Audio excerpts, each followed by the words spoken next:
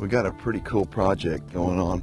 You know, I want our television show to go to the next level. I'm all about trying to make the best TV show possible. And so we're looking at all the kinds of technology that we can incorporate, not just in our shooting and our editing and production of our television show, but also I take that same level to deer management. And this is one of the greatest things, I hope, I got my fingers crossed, as far as deer management goes, because it's going to allow not just me to be able to see what's going on out here, but anybody literally in the world. If you've got internet service, you're going to be able to get online and watch what's going on right here on the ranch. And, and what we do, we have protein stations set up. And these protein stations, we've got Record Rack feed in every one of these feeders. We've got cameras sitting here looking at these feeders.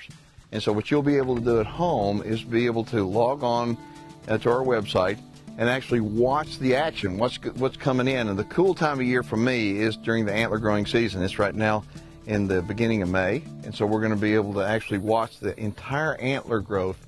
And that's the most exciting time to me, not when they're already hard horned, but when they're growing the antlers. So anybody's going to be able to do it. And that's what's going on today at the Texas Hidden Springs Ranch. Here at Wildlife Camera, we travel the country installing video systems for ranchers, oil fields, whatever your needs are. And we integrate those systems with our customers' needs. So anything that our customers want to integrate into our system, we put into that system so they can use it anywhere in the world through the internet. And Keith Warren, he's a real deer freak. When he saw our system, he just, it was a must. He had to have it. Typically, what Wildlife Cameras does, they will come out, they do the whole project turnkey. I wound up, I, I don't like uh, letting somebody do all the work, so I spent a lot of time yesterday on the trencher out here trenching thousands of feet of line.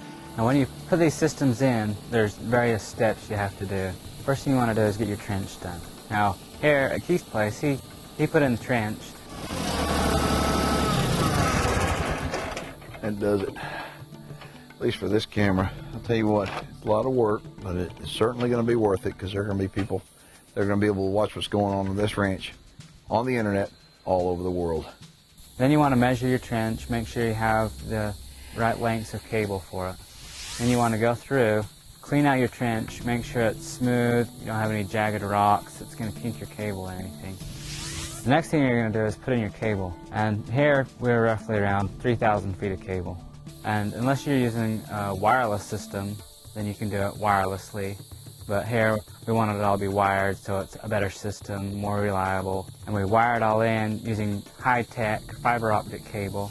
And once the cabling's in, that's, that's where the tech starts. Now we're putting up boxes, installing our equipment, terminating our fiber. Now once we've got our junction boxes on, our termination's done, then it's time to mount the camera on the tower. Now after we got the camera up, now we're going to go to the other end in the house where he wanted to be able to view it, and we're going to do that end. Now that we're back to the front end, we just got to get the terminations done here and hooked into the router, our IPs established, and then it's ready for Keith to watch. Okay, this is one of the final parts. We're just going to plug this in, and then we can test it and see if we've got connection to the camera. Okay, I just turn on the power. Looks like everything's good. Keith should have live video now. You can log on to both keithwarren.net and texashidden-springs-ranch.com right now to see live video from the wildlife camera.